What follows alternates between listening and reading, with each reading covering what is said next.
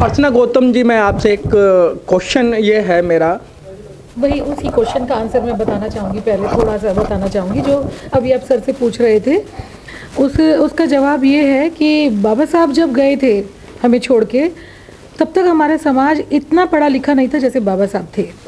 बाबा साहब के बराबर तो खैर हम अभी तक नहीं पहुँचे, लेकिन अपनी जो तकलीफ़ें हैं, जो डिमांड है, उसके मांग उन्हें मांगने के लिए भी एक एक स्तर तक हमें एजुकेशन की ज़रूरत होती है। उतनी पढ़ाई लिखाई होनी ज़रूरी है।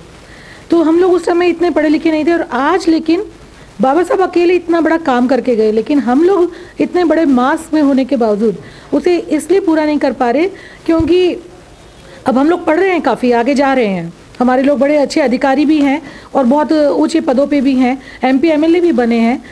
लेकिन जो केंद्र की सरकार है, वो क्या करती है कि हम लोग जो डिमांड लेके आते हैं, जो भी काम करना चाहते हैं, जो आंदोलन करना चाहते हैं, उनको सबसे पहले कुचलने का काम करती है।